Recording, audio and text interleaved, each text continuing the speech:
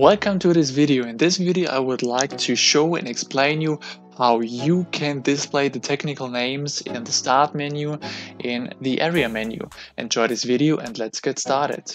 Once you're logged into the SAP system you will end up in most cases in here in the SAP Easy Access menu in the start menu and here you can open up different folders with a double click on one node or with clicking on the dark triangle and then different nodes will open up and different transaction codes. And for example, if you double click on this node, then the SAP Business Workplace will start and there you can work in this transaction. But here we're just seeing the description of this transaction and not directly the transaction code the technical name and you can activate and show the transaction code for this node in the settings. So you can click in the menu functions on extras and then settings or you could also hit the key combination shift and F9 and then you can select the setting display technical names.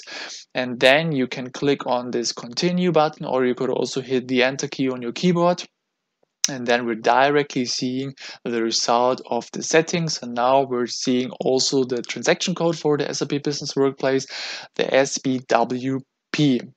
Thank you very much for watching. I hope you have enjoyed this video. If you have any questions, let me know in the comment section and please subscribe this YouTube channel to not miss very great upcoming videos about interesting facts in SAP ERP and SAP S4HANA. Thank you very much and see you in the next video.